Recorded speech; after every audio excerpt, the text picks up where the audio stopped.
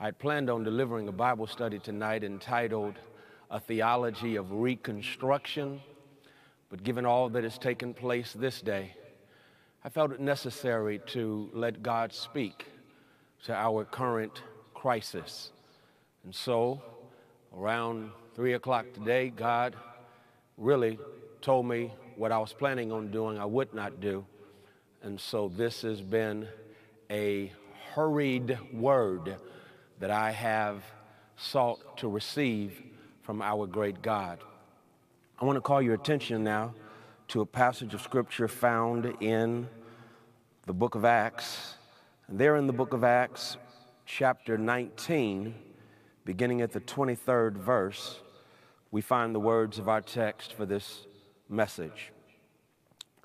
Acts chapter 19, beginning at verse 23, from the New Living Translation of the Greek New Testament, the word reads About that time, serious trouble developed in Ephesus concerning the way.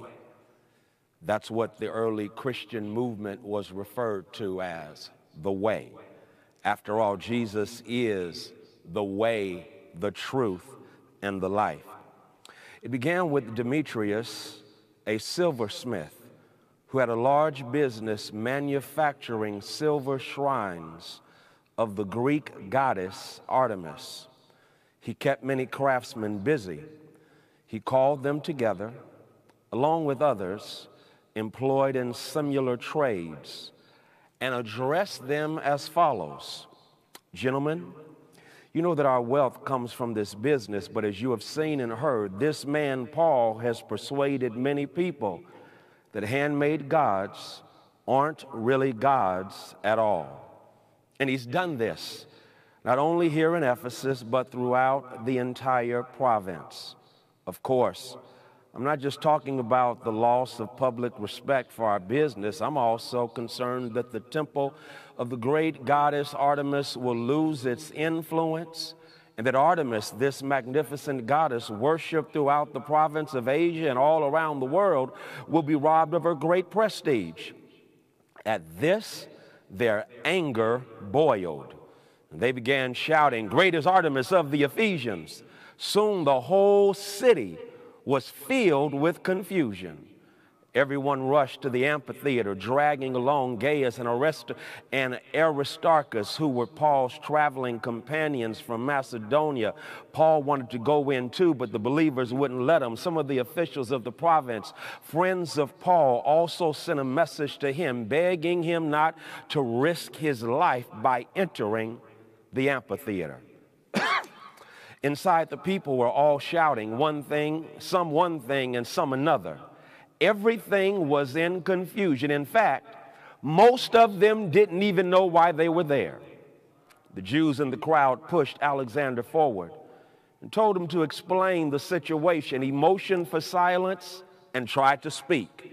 But when the crowd realized he was a Jew, they started shouting again and kept it up for about two hours Great is Artemis of the Ephesians. Great is Artemis of the Ephesians. At last, the mayor was able to quiet them down enough to speak. Citizens of Ephesus, he said, everyone knows that Ephesus is the official guardian of the temple of the great Artemis, whose image fell down to us from heaven. Since this is an undeniable fact, you should stay calm and not do anything rash.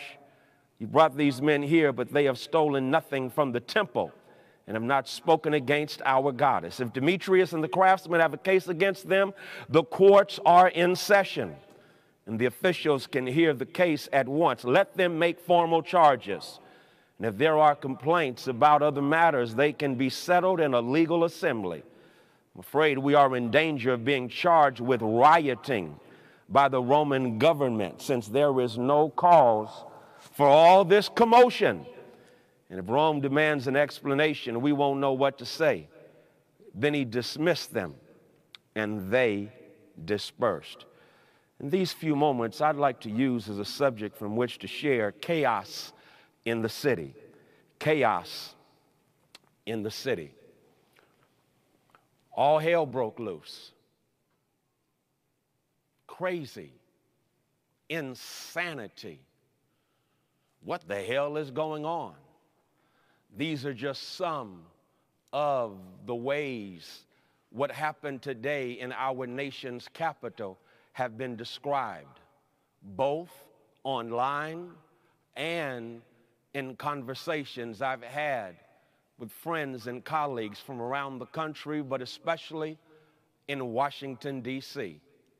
All hell broke loose because terrorist thugs, call them what they are, these domestic hoodlums, interrupted a formal proceeding where President elect Joe Biden, as well as Vice President elect Kamala Harris, were to be affirmed and confirmed in what this country has proudly referred to as a part of her process of peaceful transition. And yet, my sisters and brothers, these hooligans, these thugs, no, let's call them what they are domestic terrorists. They stormed our nation's capital. And when they stormed our nation's capital, they violently took over in what must be called a traitorous act of sedition. Yeah, let's call it what it is a traitorous act of tra- sedition.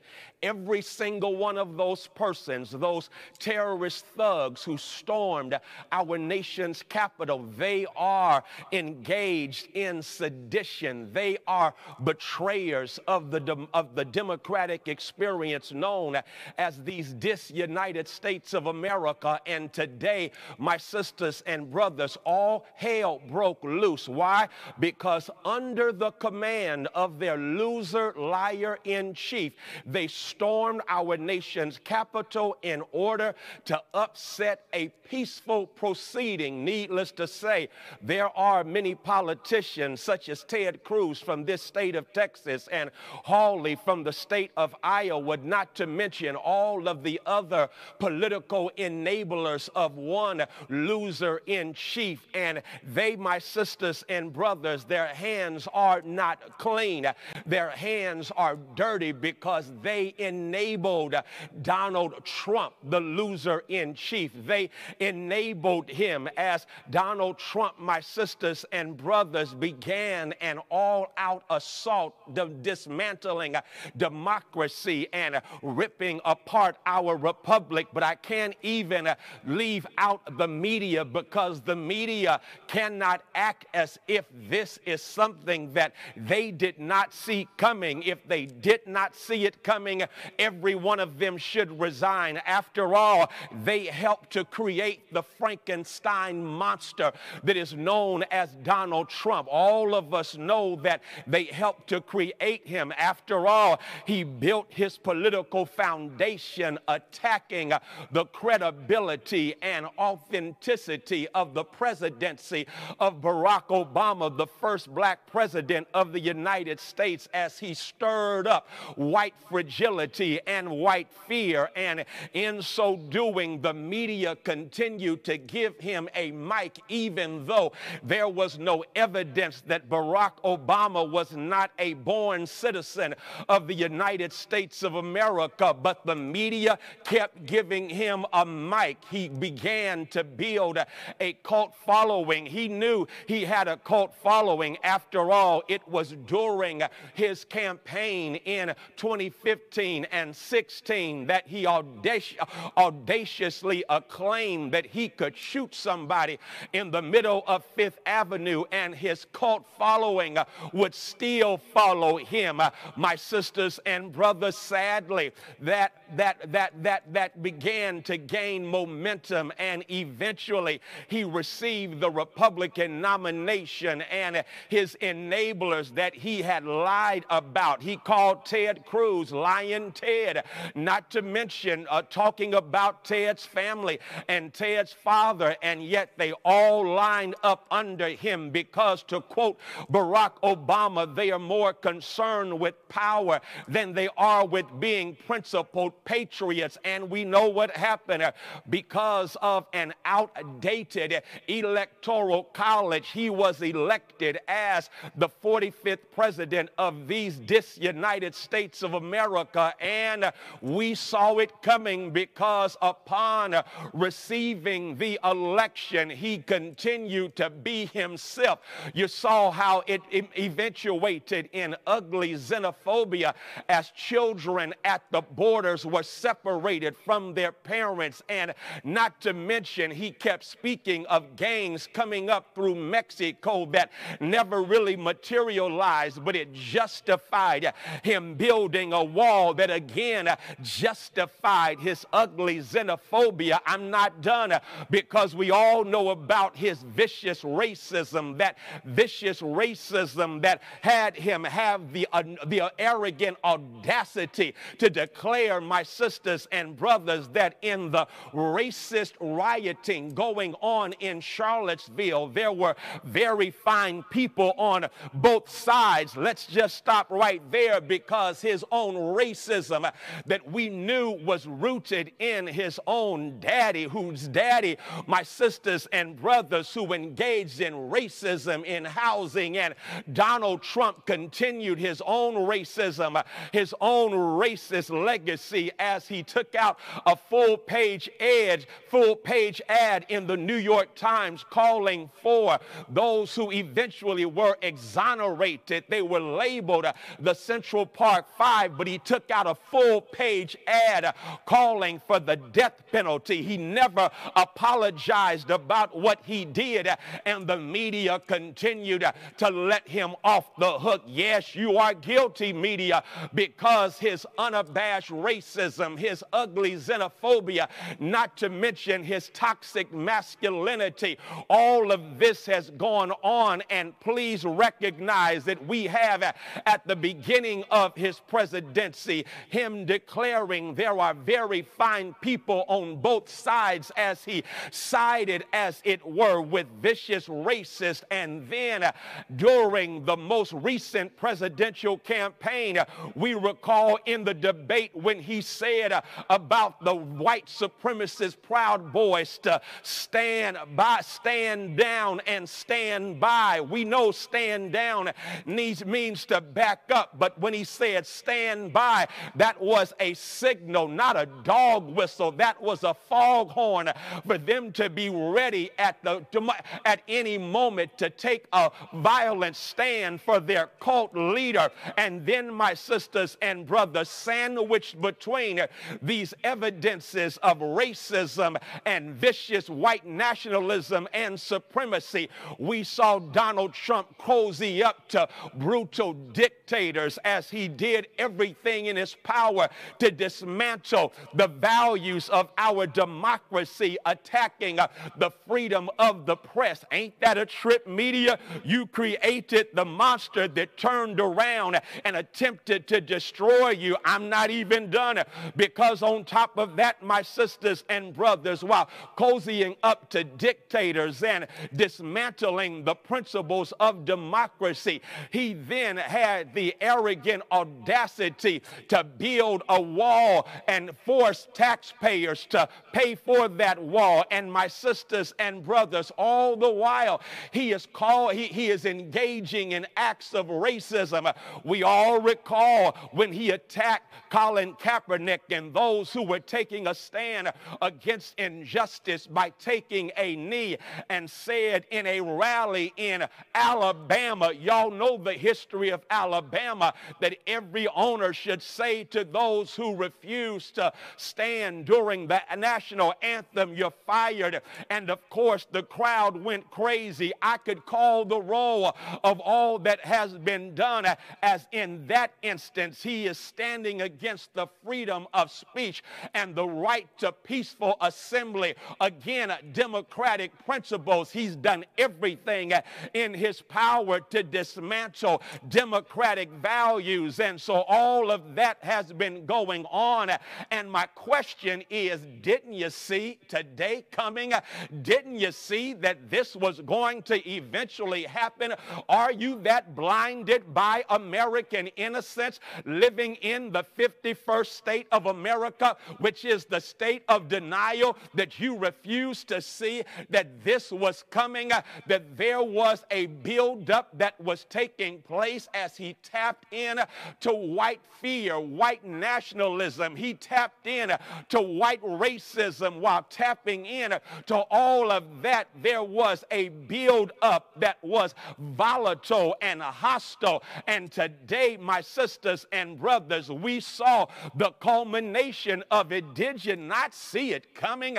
After all, he kept denying the outcome of the election where he lost by in excess of six or seven million votes. 80 million people voted for Joe Biden and Kamala Harris, and some 74 million people, they say, voted for him, even though we all know recently we discovered that Russia again was doing a cyber attack on our systems in this country. Does that mean? I don't know, but does that mean that Russia helped him to get some votes? He's talking about votes that Biden got. No, we need to check the votes that he received that we can call into question. Didn't you see this coming? Didn't you see this hostile takeover? That's what it was by these domestic terrorists and thugs in our nation's capital. Did you not see it coming as his Republican enabler stood by and allowed it to happen? And so, right now, I'm calling for the resignation of Donald Trump. I'm calling for the resignation of Mike Pence. I'm calling for the resignation of Ted Cruz, Senator Hawley. I'm calling for the resignation of uh, Lindsey Graham and all of those enablers who have stood by him.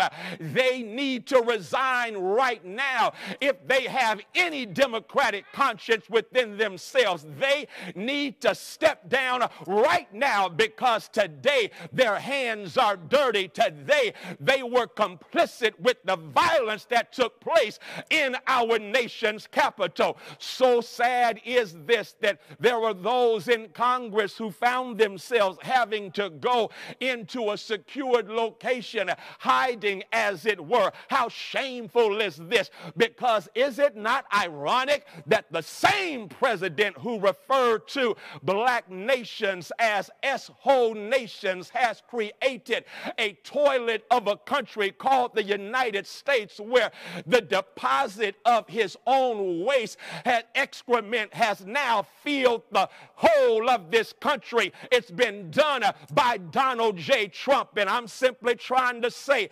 today the city, the country was in chaos. The question is, is there a word from the Lord? I'm glad to know there is because my Bible lets me know that in Acts chapter 19, Demetrius is upset. Demetrius evidently is well to do. As a matter of fact, Demetrius evidently has a lot of franchises from his silversmith business, and the silversmiths had made money. You saw what the text says by creating idols. Watch this to uh, Artemis. Artemis, the great goddess of Ephesus, they created these silver idols, as it were. And this was a, a, a well to do business. It was a lucrative business, I should say.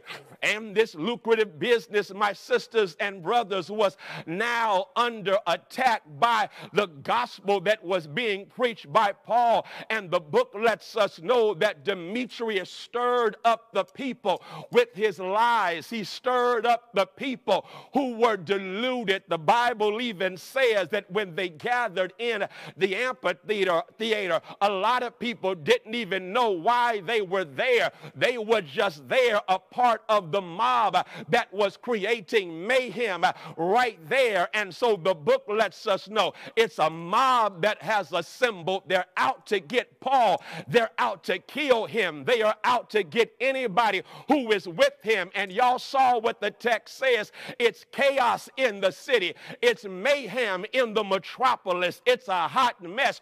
All hell has broken loose. What can we lessons can we learn from this? I'll give you three and I'm out. Number one, the text lets us know that we see here a threat watch this, a threat to the economic status quo. I think it's Dr. Jennings, that brilliant scholar at Yale, who talks about the fact that whenever there is a threat to the economic status quo, at that moment, that's when people will turn on you. You see what's going on in the text. The Demetrius franchising of silver has is now being threatened by the fact that Paul says those idols, those those silver idols aren't really gods. They can't answer your prayers. They can't make a way out of no way. They can't open doors that no man can shut. Paul is attacking uh, economically the status quo. And Demetrius says, You messing with our money. And y'all know what happens whenever there is a threat to the economic status quo, it's going to disrupt things. And y'all, whatever else you want to say, you need to understand a lot of people voted for Donald Trump not because of his ethics, but because of their own greedy economics. I'll do that one more time. It was not because of ethics, because they knew he had no ethics. It was because of economics. They wanted tax cuts, they wanted to preserve their own privilege, they wanted to keep what they had. And so, as a consequence, that's why they pushed him. That's why they enabled him, because they wanted to maintain an economic status quo, even if it's built on faulty, on false premises. And so the book lets us know here they are. They have the, the their status quo is being assaulted by the good news of the gospel because the gospel will always assault of economic status quo that, that crowns the greedy and crushes the needy. I'm going to do that thing one more time. Uh, the gospel of Jesus Christ will always assault an economic status quo that crowns the greedy and crushes the needy. After all, I serve a Savior who, when he announced his first sermon, the Bible lets us know he read from uh, Isaiah chapter 61. And you know what he said? He said, The Spirit of the Lord God is upon me. He's anointed me to preach good news to the poor. And William Barber lets us know the Greek word right, uh, right there in chapter 4 of Luke when Jesus is talking about good news for the poor. This is, is, is, is, is uh, refers to people who've been made poor, watch this, by economic exploitation. And Jesus said, I've been anointed to preach the gospel to people who've been made poor by economic exploitation. And so, my sisters and brothers, I saw it coming uh, because greed has captured the White House. Greed has captured this nation. Selfishness is the sin of this nation. You've seen it even in the response to the death dealing disease called COVID 19, in that there are those who are too selfish to wear a mask and maintain social distancing and washing their nasty hands because they're more concerned with themselves than they are looking out for everyone else. I'm trying to let somebody know that selfishness and greed are at the core of a nation that is sick. And this sick nation, my sisters and brothers, is a nation, Martin King said, that may well go to hell. Well, I got to keep it going because the text lets us know the economic status quo was under assault. But not only that, the text lets us know something else right here, and that is racism has a way of silencing voices that could bring value. I got to give that to you again because what happens in the text is you saw it, I read it. A Jew stands up to speak. I believe the name is Aristarchus, and when he stands up to speak, the Bible lets us know that once they find out he was a Jew, that's when they shut him up and shut him down. I got to go back because I, y'all act like y'all not believing this. A Jew stands up to speak in the midst of the mayhem, in the midst of the chaos, and tries to calm everyone down in Ephesus. But the book says that once they found out he was a Jew, once they found out that he was different, different. They treated him like he was demonic. Once they found out that he was not the same, they then treated him as if he was less than and not equal to. And my sisters and brothers, I think you know where I'm going right now because racism was silencing a voice that could have brought value to a volatile situation. And that's exactly what's going on.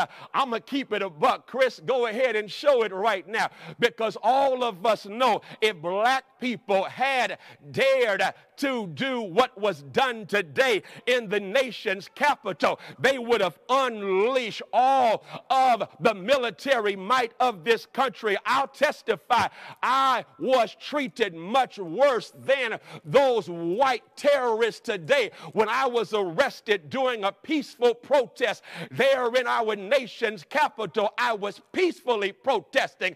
I had no weapon on me. I did not threaten the police, but they grabbed me like I did not have any humanity. They threw me along with my best friend Marvis May into a paddy wagon. And my sisters and brothers, for quite some time, they denied our rights. That's what they do to black bodies who engage in peaceful protesting. And yes, I'm simply trying to say at the root of what went down today is white privilege. At the root of what went down today is the sad reality that whiteness is a shield when it comes to dealing with vicious policing in this country. That's why Kyle Rittenhouse could kill two people in Kenosha, Wisconsin, who were peacefully protesting a police shooting.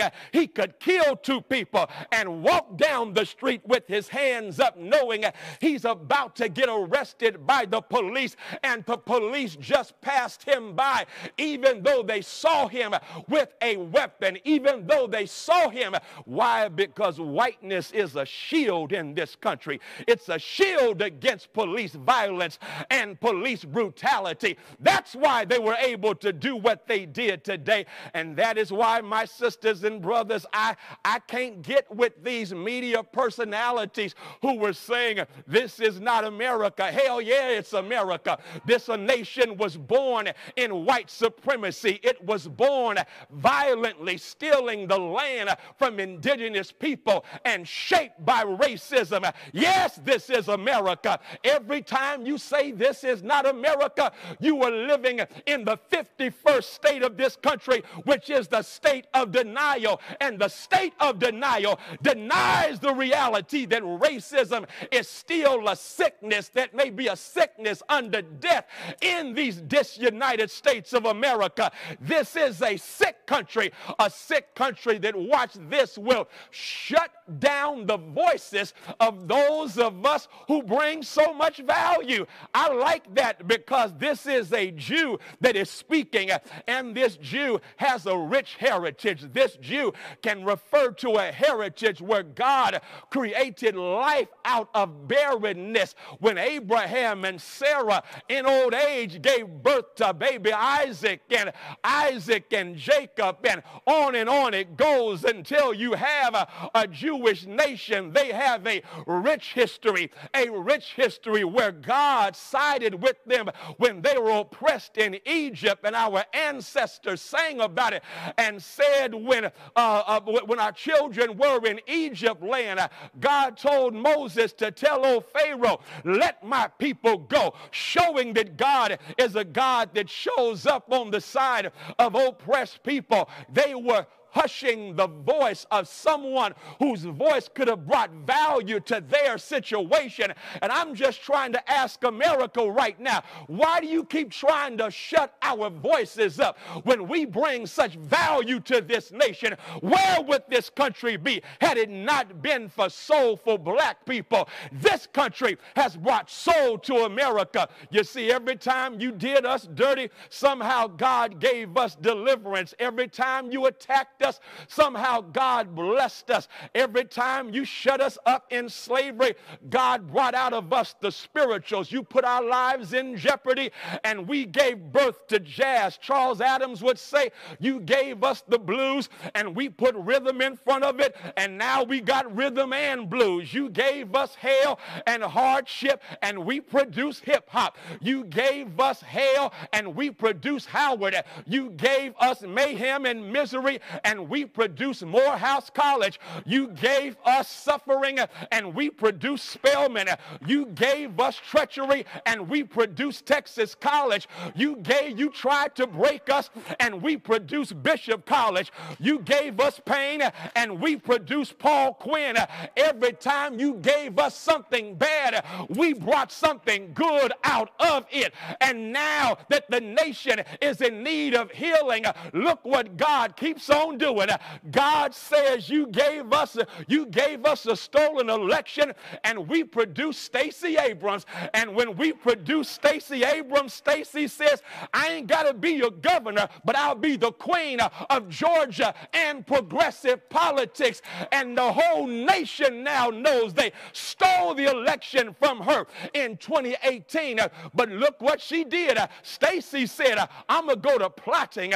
And she went to plotting and she organized and mobilized. And now Georgia, Georgia on my mind. Georgia, saying Gladys Knight, LA proved too much for the man. He said he's going back to find what's left of his world and he's leaving on the midnight train to Georgia. Go ahead, Georgia, because Georgia, we now have a black preacher who presides over the pulpit of Ebenezer Baptist Church, the spiritual home of Martin Luther King Jr. in the United States Senate. We also have Georgia because y'all worked y'all's ass off. Uh, I think I said something right there because Ossoff is now a 33 year old Jew, the youngest in the United States Senate.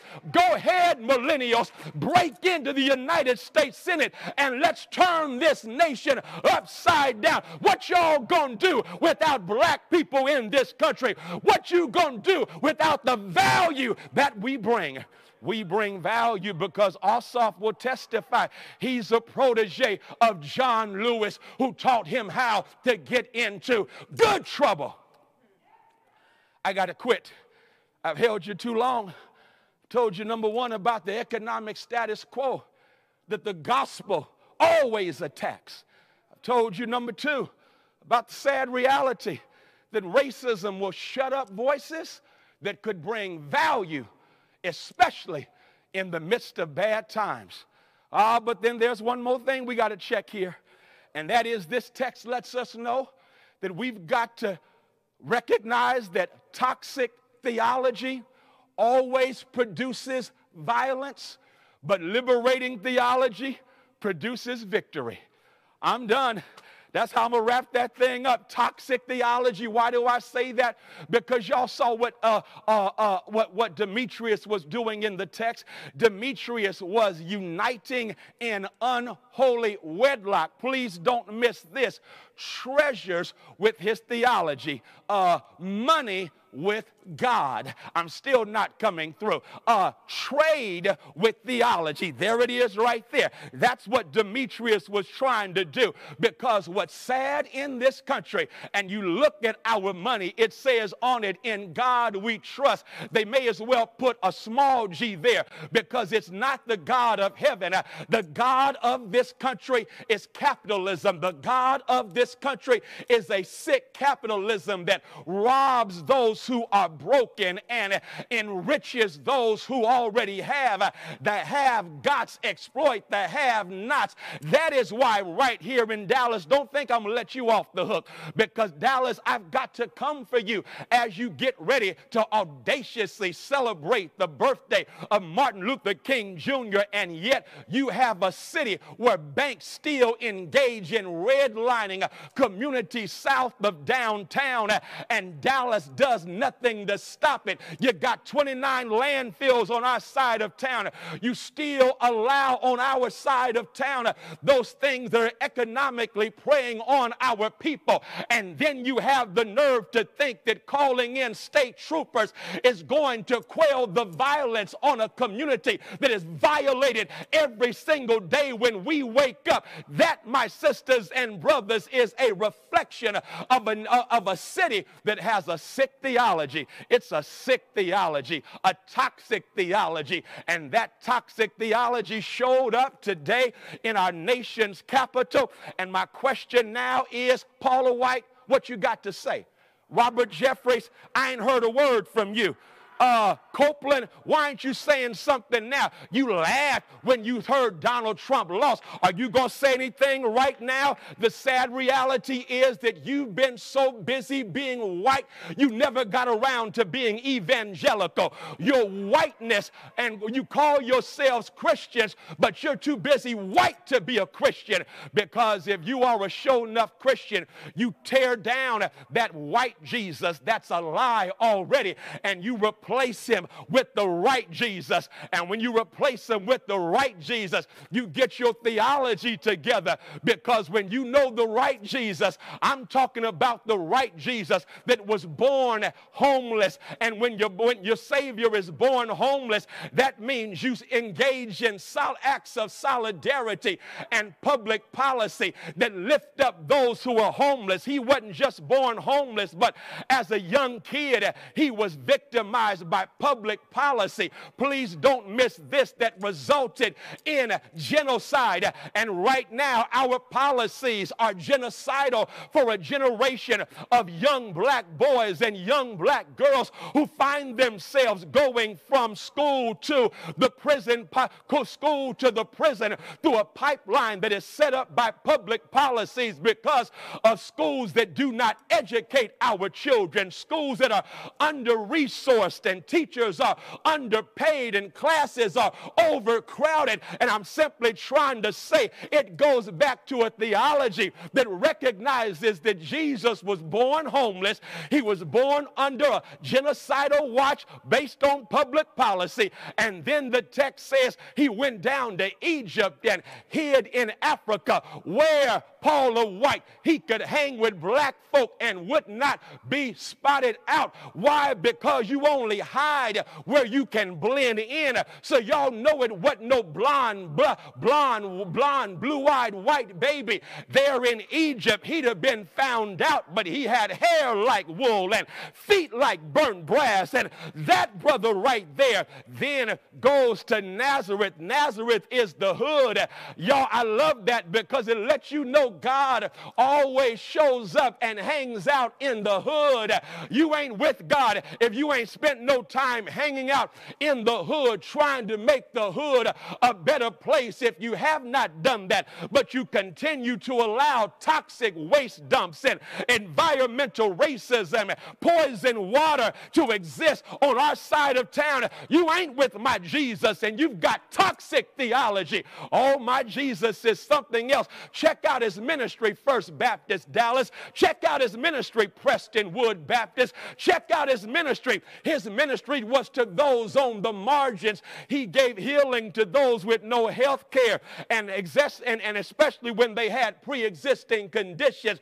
He then would stop funeral processions and transform them into festive family reunions because he was always against death dealing disease and would make sure there were testing sites on one side of town, just like there were on the other side of. Oops, did you get that, Dallas? I'm trying to let you know, my sisters and brothers, that we serve a Savior who ministered to those on the margins. He healed the sick. He raised the dead. He gave, he gave sight to those who were blind. That's what my Savior did. And my Savior then, I love it because this is my theology. My theology. And I spark right here parenthetically because my theology is reminiscent of a theology of the Senator elect of the state of Georgia. I'll call him Senator to elect, the Reverend Dr. Raphael Warnock. Reverend Dr. Raphael Warnock. He calls himself a Matthew 25 Christian.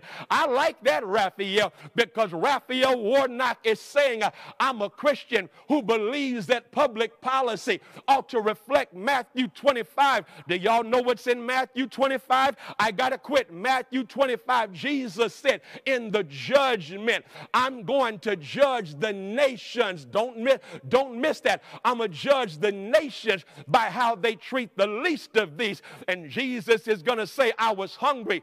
Did you feed me? Thirsty? Did you give me water? In prison? Did you visit me? A stranger? Did you come see about me? Let me, Freddy Haynes, remix it. I hear Jesus in the judgment saying to America under Donald J. Trump, the loser and liar in chief, I was hungry and you cut aid to dependent children. I was thirsty and you did nothing about contaminated water, especially in Flint, Michigan, and in black communities and brown communities. I was in prison because of your prison industrial complex. I was a stranger and you built a wall and snatched children from the arms of their parents. And America is going to say, Lord, when did we do this? Then that's when Jesus would say, America, go to hell. Because in as much as you did it to the least of these, my sisters and brothers, you have also done it unto me. That's my theology. And so go ahead.